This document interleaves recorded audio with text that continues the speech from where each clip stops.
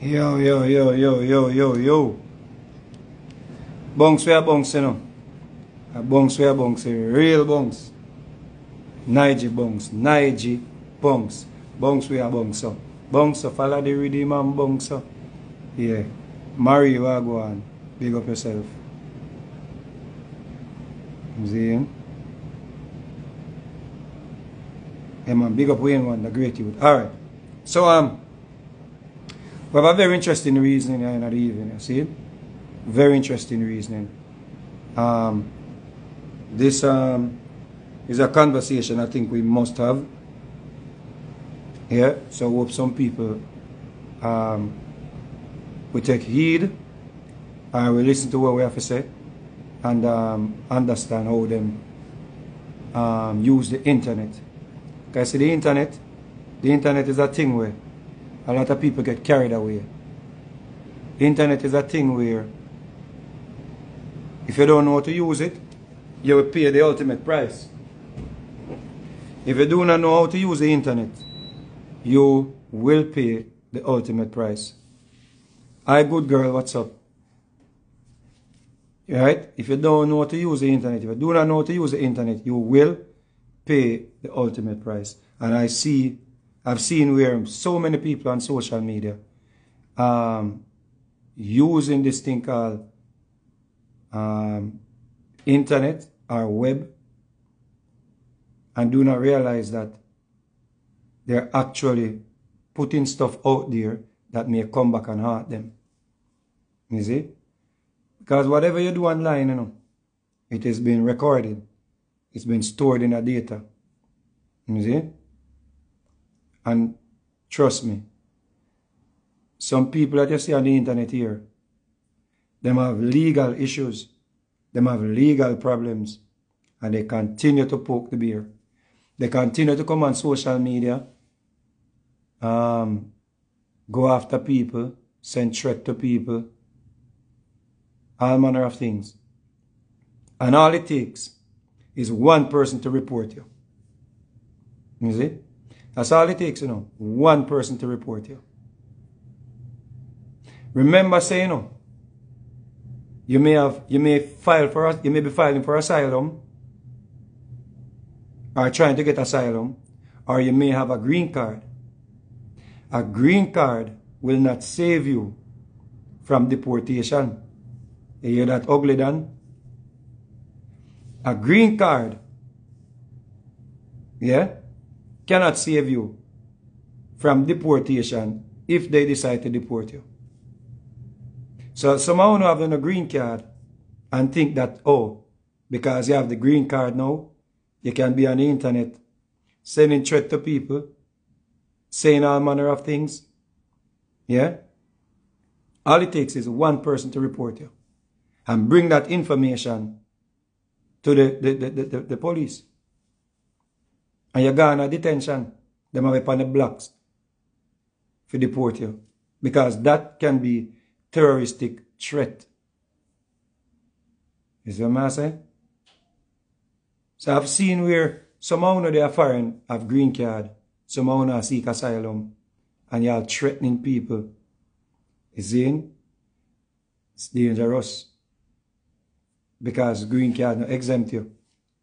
Now, this is a social media influencer that I actually really like Ivani. I just, I just like her. My spirit just take her. It's like I was so rooting for her to do good, to make her life, you know, make a turn and, you know, do something with our life. Yeah?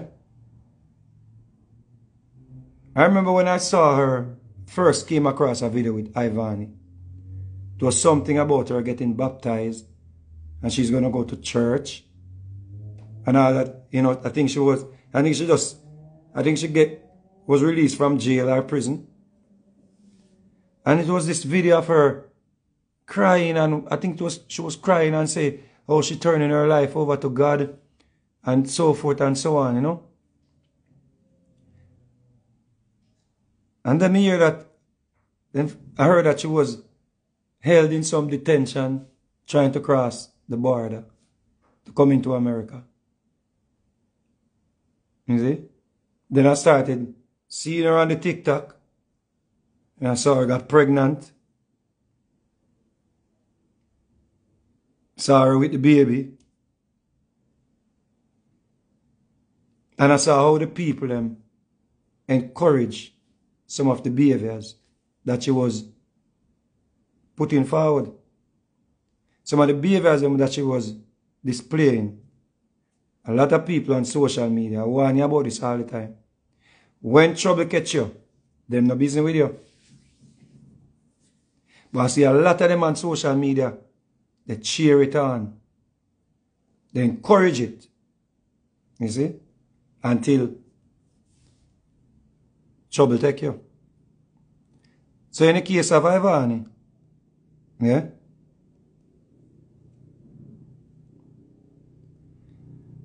According to reports, it says here,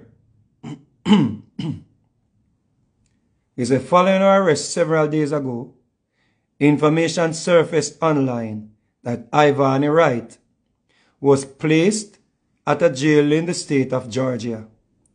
Amid the speculations about her future, her mugshot was released online May, um, April 8.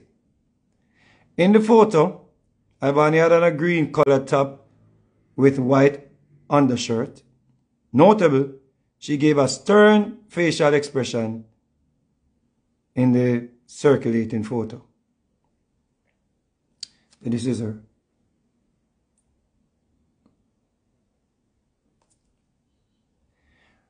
Wright was placed at the Henry County Jail following her arrest, her arrest on the 4th of April 2024.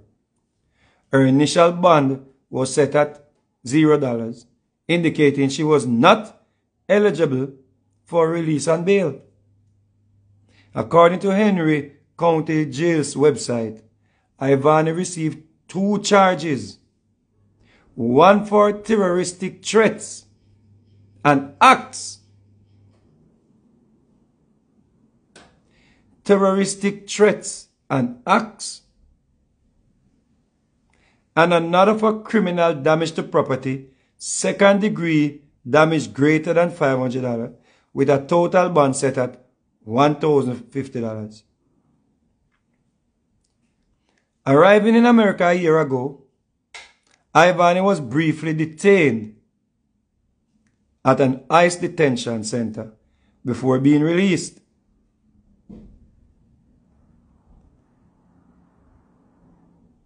See?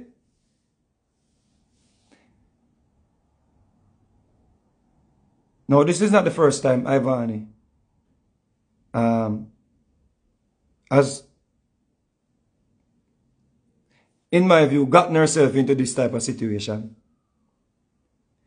Yeah?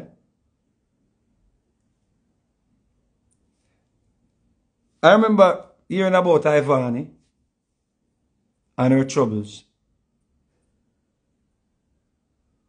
young, beautiful girl. And it was things like in the media. Ivani went to a store, a restaurant, borrowed, she and her, co she and her co-accused, borrowed two persons' phone. I borrowed some people phone. Yeah? Borrowed, borrowed borrowed some phones from people that were at the, the restaurant. Said she gonna she wanna use the phone to take picture. And the people themselves, they've just left with their phones. In another situation I read again about her. She was selling Instagram pages. According to the report, she was ripping off people or committing fraud. Yeah? Promising people that going to get them some Instagram page and didn't pay them. And didn't, and didn't give them the page, took their money. According to the reports. Now you wonder to yourself, say, After all of that, and you get a chance now in America, you that things that have, and get a child, you that things that have it, you know? But it seems like Ivan you know, no grew up yet. Seems like Ivan you know ready to learn yet. So now she's locked in jail on terroristic threats. Just had a young baby. You see? I'm going to bring on attorney, immigration attorney, um, Michelle Layard. So we can um, figure out what can be done for Ivani, if anything can be done, and how he or anyone else could assist her. Because remember, I still with sister. I will tough your sister. You see? So let us bring on the expert. Yeah? To see how, how if any there's any hope for Ivani. See?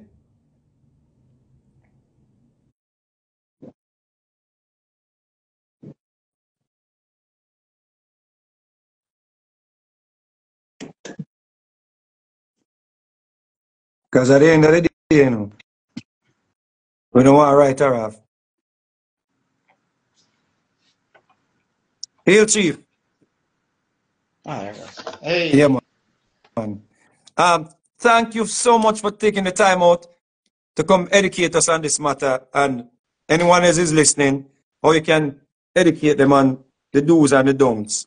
Um, so you can just briefly give them a rundown, a synopsis of who you are and your profession, etc. Sure, sure. So I'm an immigration attorney. Um, I have a Jamaican background. My parents are from Jamaica. Um, I've, but as you can tell from my voice, I'm from the United States. I was born and raised here, but um, I've been representing people from the West Indies um, as well as from other parts of the world for over 10 years now. I, I, might be going on longer than that. I know I've been at least in business with myself for 10 years, but um, been practicing much longer than that.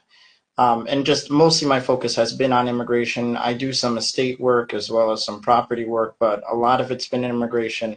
And unfortunately, especially when it's come to certain West Indians I've been representing when they're when they've been in prison, um, a good portion of that has been with criminal immigration. So that's sort of just how I've made my living. Is, is the name Michelle um, Laird or how do you pronounce the last name? Sure, sure. It's Mitchell Laird. Okay. Laird.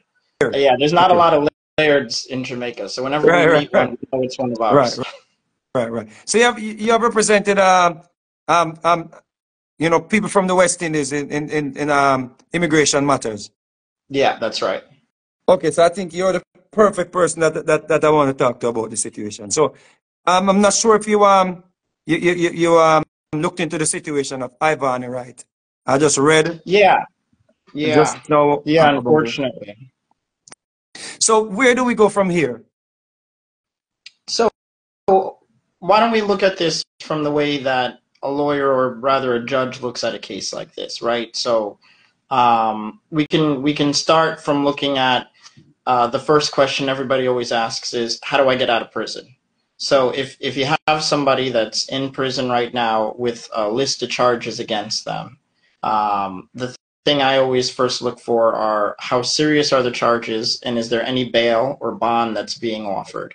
Uh, I believe in this case, what we saw uh, from the court records is that there is a bail that's that's been offered. I don't know if it's been satisfied yet, but it looks like it's somewhere around two thousand dollars, about two thousand one hundred. Uh, it's uh, I think one thousand fifty dollars. Yeah, I didn't know if there were two different parts right. to that bail because they That's, said total I've, I've actually seen one for five hundred as well. Yeah, yeah, yeah. So, but whatever it is, whatever the amount is, then you know that if someone posts bail, they're allowed to get out of out of prison. The problem that we have here is that um, most likely immigration has already been notified, and immigration will put on you what's called a detainer. So while you're in prison, you're being held by the state of Georgia, right? So in the United States, the states are different than the federal government. So the state of Georgia is holding you in their prison. They're paying for your meals. Hopefully, they're paying for your medical care and a bed. I'd like to say heat, but I've been in a lot of prisons. There's no heat in there. So you're there. They're holding her um, at the expense of the Georgia taxpayer. When you come with bail, they're more than happy to let you go because they don't want to spend that money anymore. But immigration will put a detainer on you. And now a detainer says, hey, when you're ready to let her go, give us a phone call and then hold on to her for a little bit. We'll come pick her up. Wow. And so they'll hold on to her until immigration gets a chance to swing around and then they'll pick her up and bring her to immigration prison instead. Immigration detention is what we call it. Um, and when we say prison, we're, we're saying jail because she's not in prison as it, right? Yeah. Right. Yeah. But, My right. apologies. Yeah. Right, right, right. Uh, so, but based on the charges, though, terroristic threats and acts, let's say, let's say, um, immigration does not pick her up. Right. What are the, right. what are we looking at here? Terroristic um, threats and acts. How serious is this? So, by itself, it may not be that serious. A lot of these charges are what we call misdemeanors. Um, depending on what facts they bring against her, I'm sure everyone already knows the facts because it's all been broadcasted over the internet. But it's up to the prosecutor to decide which things he's allowed to actually bring into court. So, depending which acts he actually brings into his charging document, into the document that says all of the things that he believes that she did, um, that'll determine how immigration reacts. So, even though it may be a misdemeanor in state court, depending on how it's put into into the actual courthouse and how it's handled by the judge, immigration may react completely differently, and they may determine that in fact she is um, what we would call, say, an aggravated felon. They could determine that she is um, uh, uh, has committed a crime involving moral turpitude. And I, I really think that those are the two biggest concerns that someone in her position would have is um, is it one of these elevated offenses? One is called aggravated felons. The other one is called crime involving moral turpitude. And if you fall into either category, then you could be looking at almost a guaranteed deportation. Right. If you don't Right. fall into either category, then you're looking at a deportation, but there's a lot of ways still available to save you before you get deported. Would, would, um, would our, would our legal issues in Jamaica play, um, play a role in, in, in, in, in, in, in that decision? Yeah, absolutely. When we're talking about aggravated felonies, not so much. When we're talking about crimes involving moral turpitude, if and please forgive me for all the legal phrases. If they don't make sense, they don't make sense to most judges either. They, everyone's been figuring this stuff out as they go along.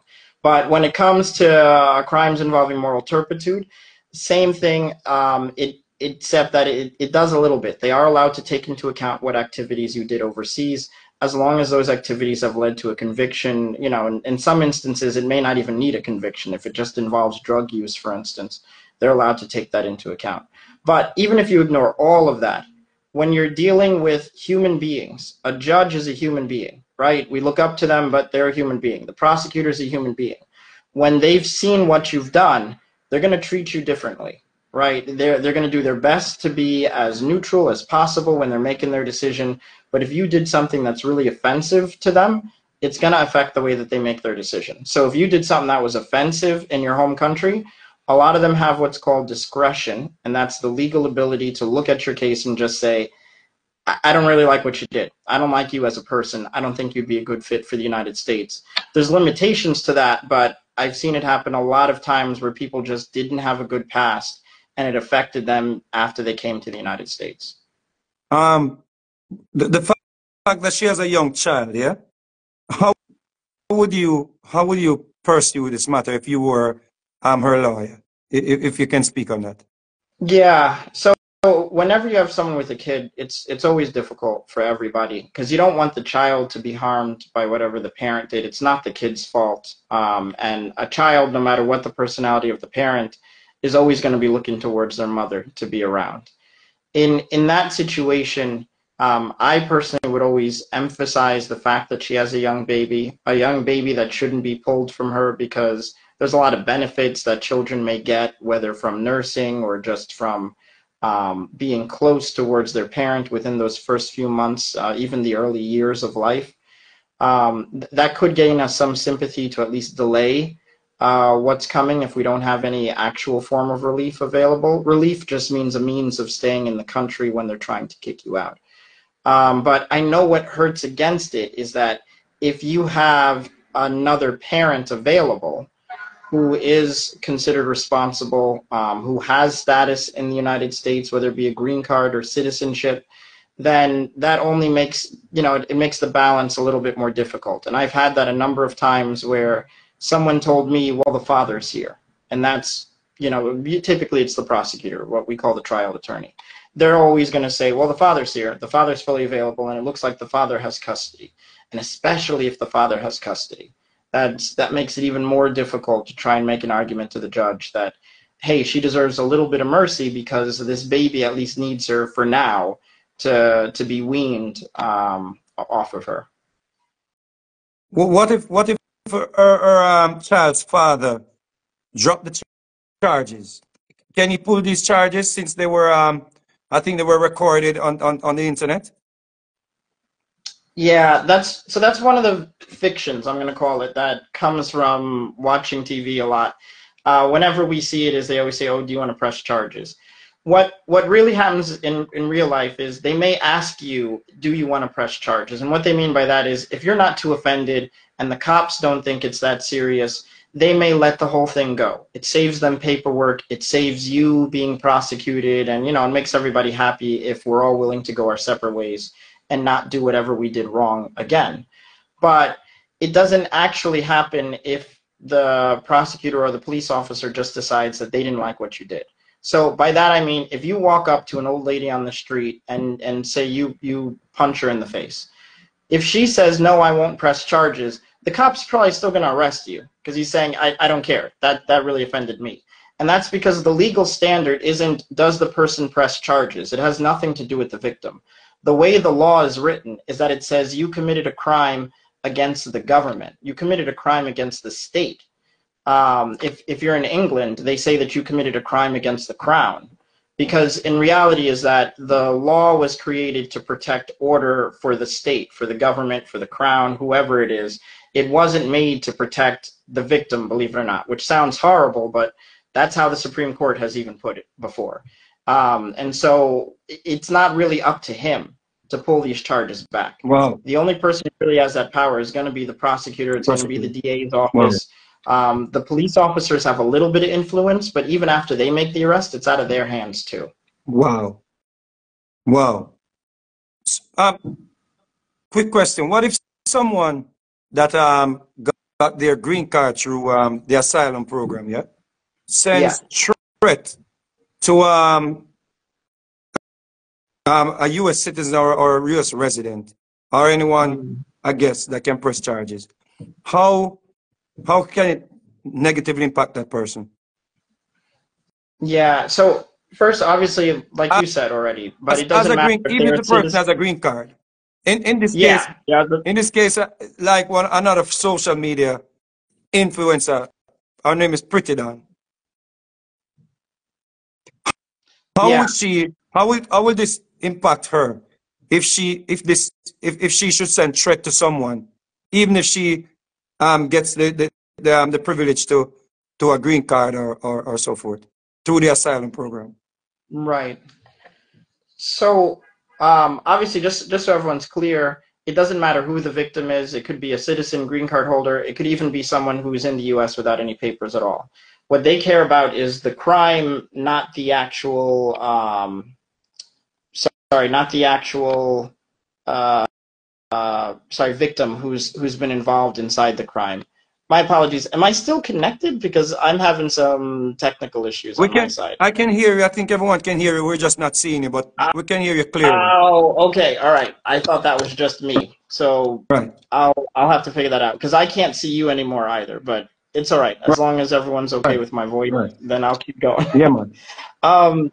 So what happens what happens if if it's actually been a crime that's been committed while specifically if you're doing it through asylum um, they have slightly different standards after you get a green card through asylum than you did if you just simply had a green card um, we don't have to go through all of it right now but just the basic idea that people have to worry about is if it's a threat if it's considered um, a terroristic threat which each state defines differently so don't get caught up on the wording. But if it's a serious threat that's been made against somebody, um, yeah, then yeah, it can be brought against you for charge with charges. If it is brought to you with charges, then they are allowed to try and bring you to court to take away your green card. There are a number of ways that you can protect yourself and save yourself if that does happen, but you never want to put yourself in that situation. Um, the the reason why it makes it hard to interpret is because there are 50 states in America. There's also Puerto Rico, you know I mean, there's Guam, etc. And each one of these places have their own laws on committing threats over the internet. And each one of these laws have different levels of how strict they are. And immigration has to translate all of them differently. And so uh, obviously immigration doesn't have the time to go through thousands and thousands of laws for each state. So they do it on a case by case basis. So we've had over maybe 40, 50 years of these laws being on the books. And we don't, we can't say for certain what is a serious enough crime to have you kicked out, depending on what, what you've been arrested for. Um, some of them obviously we know for certain, but others we don't actually know. So when you're throwing out threats, there's some there's some gray area there all of all threat all crimes involving threats are strong enough if they want to to try and throw you into court but um, in some states they may even be stricter than that and could lead you to a, a more serious offense um, on the immigration portion of everything. I have another friend um, another brethren. I think he's he has some legal issues as well. His name is Foota Hype. He had some legal mm-hmm. issues. Um, I think he, he married to someone and the person. Um, abandoned him while he was out the country. And um, he was held by ICE. I'm not sure if you if, if you got a chance to look at um, that case or that situation. What's out yeah, in, in yeah, yeah. So um, yeah, I heard about it. He's, he's a, a strong advocate against certain immorality. How how how far can he push the envelope to jeopardize his chance of, of, of staying in, in the US? So, without putting people into a box, but uh, essentially, when you come back into the United States and you say your marriage case or whatever case you had going fell through, you can you are allowed to start uh, another case if you want to. You are allowed to start another marriage case if you have a if you have a true marriage. You are allowed to um, work on a divorce case depending on what stage you're at. You are allowed, if you were abused in your initial relationship, you're allowed to do what a lot of people call abandonment or abuse. Um, we call it VAWA. So it, you're, all those are options available for you. But the same problem as we had before with Ivani is that if you're still dealing with human beings and your application, no matter what, even if you don't have crimes against you, your application to get a green card is based off of you being a good enough person to get it. And that doesn't mean, oh, I haven't committed felonies or, oh, I've never punched an old lady, because many of those people have gotten green cards. That's not what they mean. They mean that in my discretion, when I'm done talking to you, when I'm done looking at all the things that you've done, all the things that you've said, I think you're you'd be a good next door neighbor to have, right? And many people have committed some pretty serious crimes when I bring them into that interview room and the officer meets them, he says, you know what, this is actually a good dude. This guy has been taking all the wrong paths in life, but I see he's changed. He's actually a really good gentleman. He's a wonderful father. I've, I can't tell you how many how many Jamaicans I've gotten off. Uh, one a bunch I gotten out of prison for some serious crimes, just because they're phenomenal fathers. Like they are just really really good dads, able to raise their kids, able to you know they're at school every day.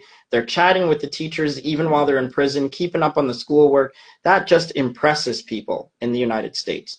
And they're willing to forgive a lot if you show that you're a good enough person. But if you're putting stuff online and it's your worst side or it's your aggressive side, then that type of stuff can come back to bite you. Because now someone is judging you as their next door neighbor based off of that before you even come in to say a single word to them. And that's who they see you as a person. And that's that's where it gets dangerous because a lot of the things you do online are to get attention. It's to get likes, it's to get clicks. Sometimes you're just feeling angry, so you want to vent. And so as a result, people aren't seeing the best side of you at all times. They might be seeing the worst side of you, but that's your most popular video. So that's all anyone's going to think of you when they go and and, uh, and look you up later on. And immigration does look at your social media. Immigration looks at your social media when you come in the country. We've known tons of people who've been sent back because they were messaging on Facebook how they were going to work for each other. Um, immigration looks for you looks at your social media when you apply for a green card, when you apply for citizenship. They just want to see what what are you presenting to the rest of the world. I know you're going to present someone good to me, but what are you presenting to to real people out there? So, so if you had if if you had to say if you had a message for like I, I just pointed out two persons, um, um, Pretty Don and like Foota Hype, how what would you say to them if they were your clients trying to get um, their legal stay or have gotten their legal stay.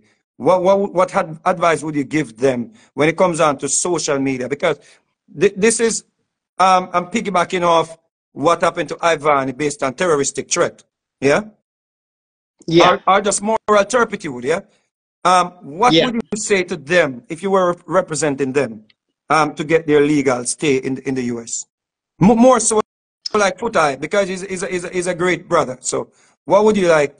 Adv what advice would you give him? So I I'd have to level with everybody, right? Is that I know your internet presence is is how you is how you make your bread. I know that's how you how you present yourself to the world, how you promote yourself, and that's very important. But at a certain point, you got to start cleaning up what you put on the on the internet. Um, and I'm not familiar with everything he's put out, so he may. I'm sure he's got loads of good. It's unfortunately is the stuff that gets that gets shared the most, and the things that get shared with me the most are obviously going to be the the ones with the strongest and most controversial opinions. That's just how it is. And so, for the time being, until we get to clean up your status, the best thing to do is to not put out as many of those videos as you can, to pull back from any of the controversial stuff um, that can be hard for people who built their whole personality on that or people who you know that's just who they are. They like to get into controversial topics but um, it's just it's it can get it can get very dangerous when those are your most popular videos. That's what because when when immigration googles your name that's going to be the first thing that pops up. They don't even have to look. It's not going to be the good video where you're doing a good deed or where you're singing an awesome song or where you're doing a dance routine with a bunch of kids. It's going to be the video where you're mouthing off at somebody else. It's going to be the hmm. video where you're talking down to somebody who was insulting you. And that's what they're going to see. And so, and this isn't just for them, this is for everybody. I tell all my clients keep your head down, try and stay off of social media. If your job involves social media, then do it, but keep it as positive as you possibly can Comment on other people's streams, but don't comment on your own because you don't want that coming up in a Google search later. Whoa, whoa. Listen, um, I cannot thank you enough for, for, for this um, lesson. I, am looking forward to speak to you further on the Ivani situation. Um, I'm, I'm really rooting for her. Hopefully she will get some assistance and I'm not sure if you can take on the matter or if you can advise how you know how it's supposed to be done or going forward, or, or attorneys can move forward. But um, I'm hoping for the best for her. So thank you so much for your time. Looking forward to speaking to you again. No problem. And my apologies about the camera. I don't. Know. No, no, you're good. You're good. You're good. And, and, and, and just just just for people who are interested in your service, there are so many people in the U.S. that um, have immigration issues. How can they contact you? Um, you know, you know, your name of your company, um, or, or your social media um, page or sure. pages. No, I appreciate that. So we're Laird Law. You can find us here on Instagram. I'm also on Facebook, Laird Law. Um, I try and do a show about every Thursday where I update people on things on Facebook just involving immigration or just to teach people a little bit about things that I've gotten as questions. Um, you can always send me a message if you have a question. Send it to me on Instagram, on Facebook. Um, where I'm happy to get back to you with an answer. If you want me to do a full show on something, um, same thing. I'll always schedule that on Facebook based off of questions I get. You can also find us at Laird Law, so that's L-A-I-R-D, L-A-W dot O-R-G. So that's L-A-I-R-D, L-A-W dot O-R-G is the website, which has all our information. Um, the name on Facebook and Instagram is the same thing, L-A-I-R-D, L-A-W. Our phone number is 212 233 2988. That's 212 233 2988. And that number also works on WhatsApp if you're overseas and you just want to send us a message. Um, but uh, that's pretty much it. Those are uh, a right. number of ways to contact yep. us. Come on. Thank you so much. Um, looking forward to speaking to you in the near future. All right. Thanks again. Appreciate Bless it. Up. Bless up, man.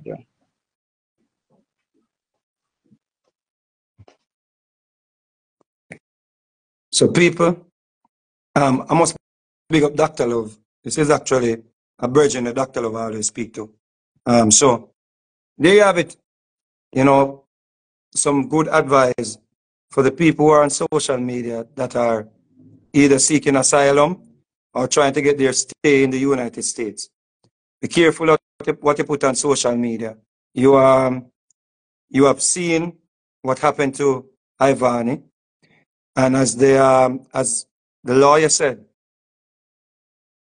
it is not contingent on the person that you committed the terroristic threat against. It is now in the hands, or it can be placed in the hands of the prosecutor. Yeah? Or the, or the DA. So you don't want to be on social media threatening people, um, going to the extreme with certain rhetoric, um, and that falls in the hands of um, the people or get the attention of people who actually are the ones who will make the decision whether you stay in the United stay in the United States you, or you get come you, or them saying yeah yeah yeah Zane. So brother Foota, Zane, I think that's a good word of advice for you. Cause you don't know you're my brethren, you're my brother for life. Zane. Ugly Dan, you hear that? Not because you may get your legal documents. It does not mean you are, you know, a U.S. citizen where you can be sending threat to people and be creating you know, kind of defamation um, against people. All right? you, you are still under the Moral Turpitude Act. Just know that. Look it up. All right? You see? So you have to always be on your best behavior. Not because you think you get the paper already or you get the green card. As long as you don't have that book, that citizenship, yeah, where they may just give you a misdemeanor for a terroristic threat on social media, yeah, you can still go jail and you can still get deported. Yeah? So big up on yourself. Barney. You don't know me like you. You just you just give me a good energy. Zane and me a root for you. Hopefully, you know, you will get to come out and get to come see your youth, spend time with your youth, raise up your youth properly. All right. So this is another lesson. Hope you learn from it. Zane, big up on yourself, people. One love. Out of here.